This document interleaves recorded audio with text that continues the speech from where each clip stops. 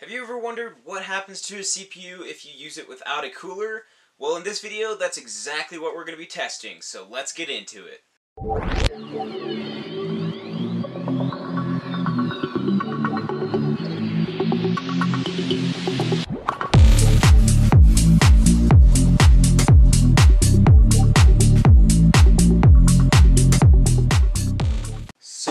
Uh, beautiful white beast of a computer right here is none other than the Dell Inspiron 530.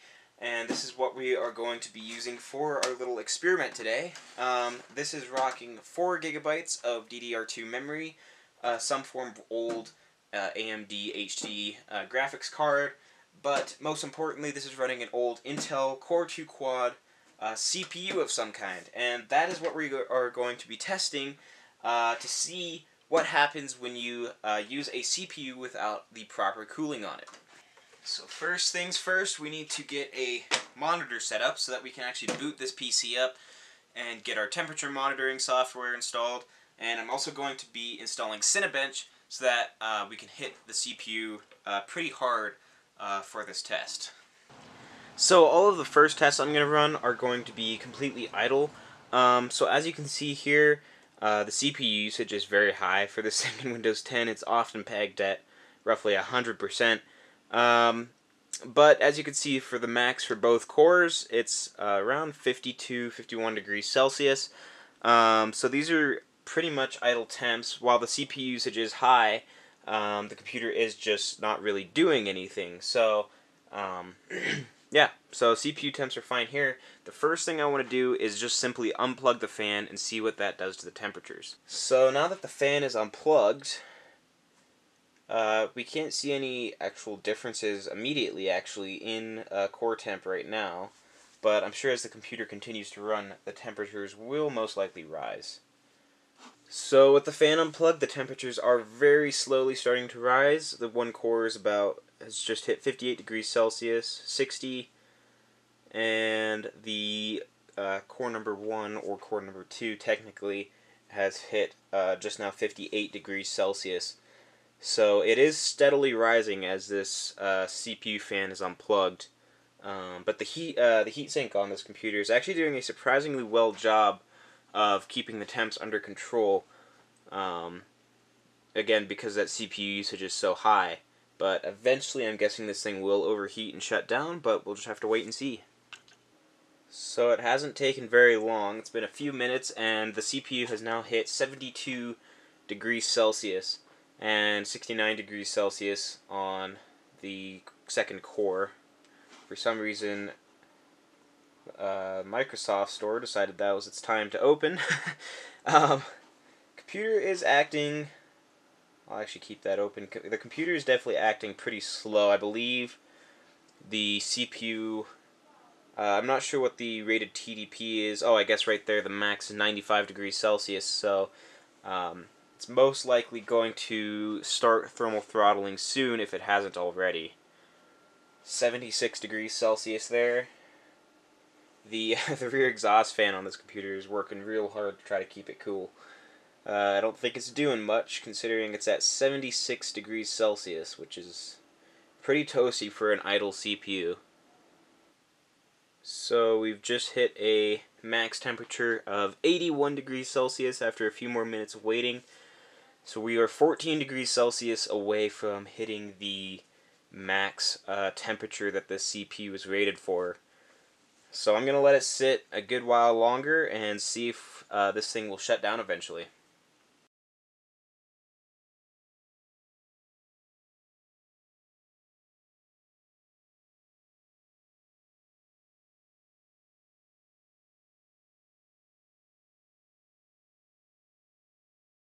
Alright, just hit 90 degrees Celsius, again continuing uh, the idle on the CPU, and that's 5 degrees uh, Celsius away from the recommended spec, or recommended uh, the max uh, temp for this CPU, 91. It's definitely seems to everything still seems to be working. The cursor still works. 93 degrees Celsius. This thing is getting extremely hot right now. And again, this is just with uh, unplugging the fan. Okay, we just had the core turn red there for a second. I believe, yeah, it's definitely starting to uh, thermal throttle now, trying to cool itself down. We're getting a temperature warning on the core number zero there.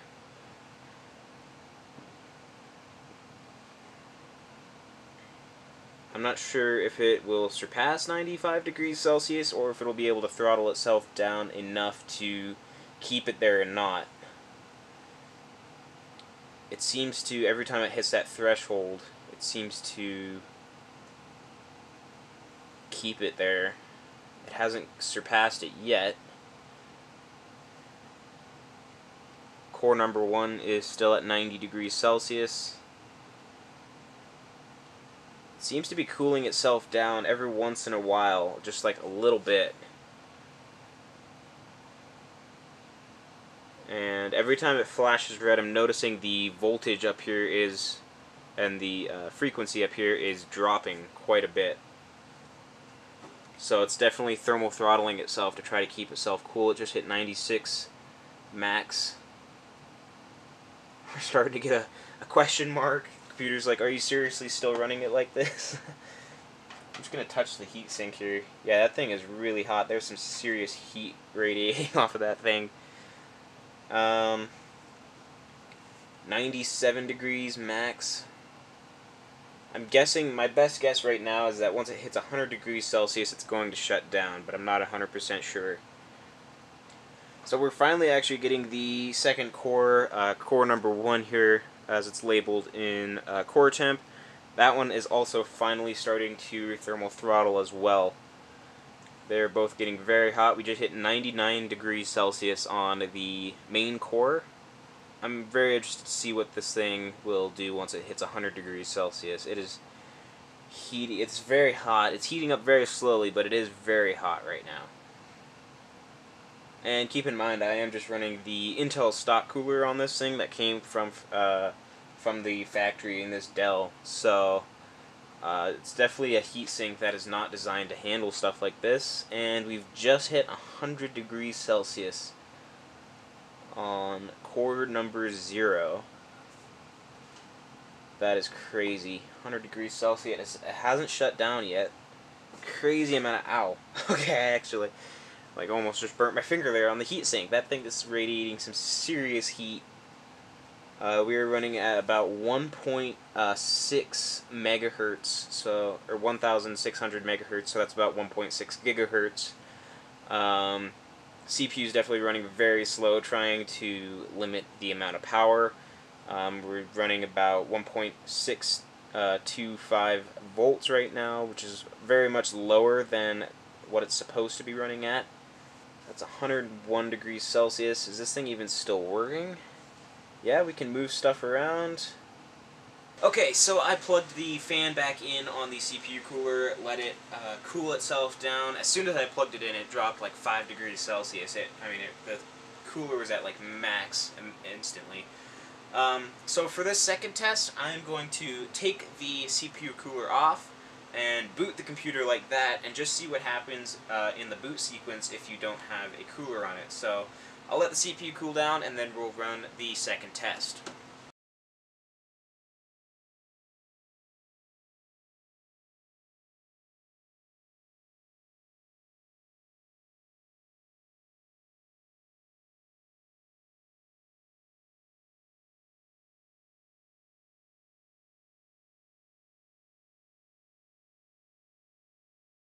Okay, so this is the second test. We are going to, as you can see, boot the computer without any form of cooler on the CPU. So let's see what happens. So far, we're getting a normal boot sequence.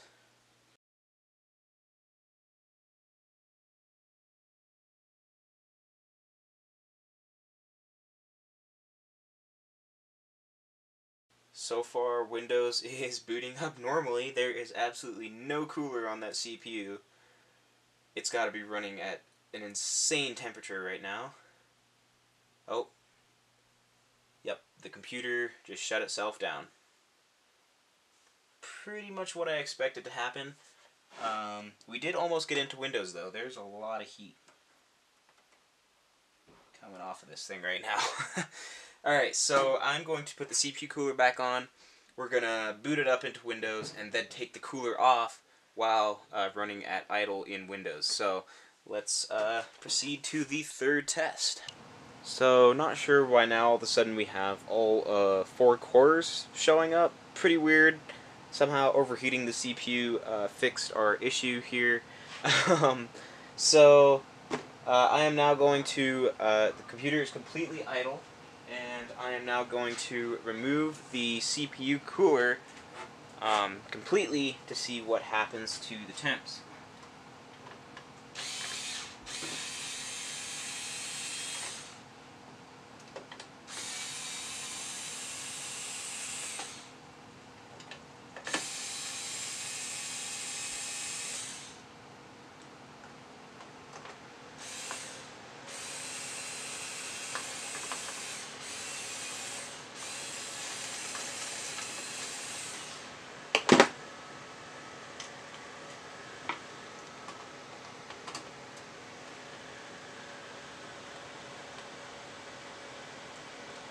Yeah, that thing skyrocketed fast. That thing is heating up quick.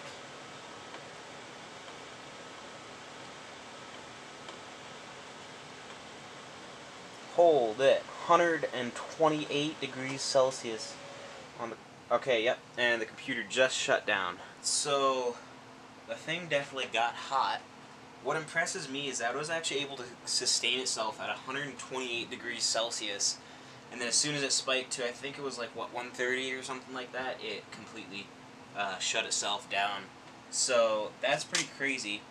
Um, I'm going to now run all of these tests over again, but uh, this time with Cinebench uh, running to see how the CPU reacts to these extreme temperature changes under 100% load.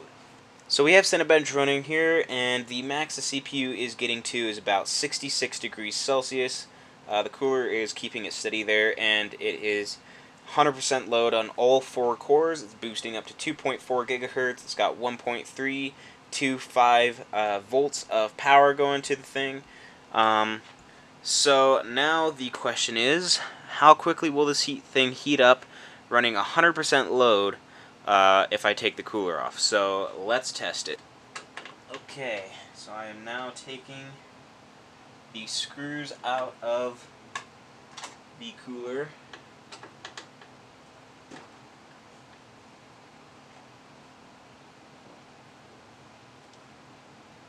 I've got two screws out. Hasn't really affected the temps all that much yet. Taking the third screw out and now the CPU cooler is no longer in contact with the CPU.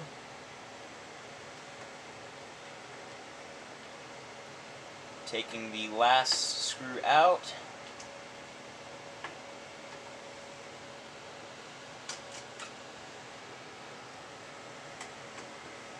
Oh, that, that thing's heating up quick.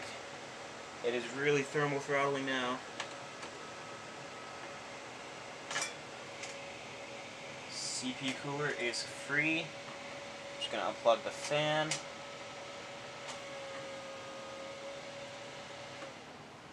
And it shut down. Alright guys, well I think that was actually a pretty interesting test to see how a CPU reacts to not having a cooler on it, both at idle temperatures and under 100% load. So this was an interesting experiment. I hope you guys enjoyed watching it, and thank you so much for watching, and I'll catch you guys in the next one.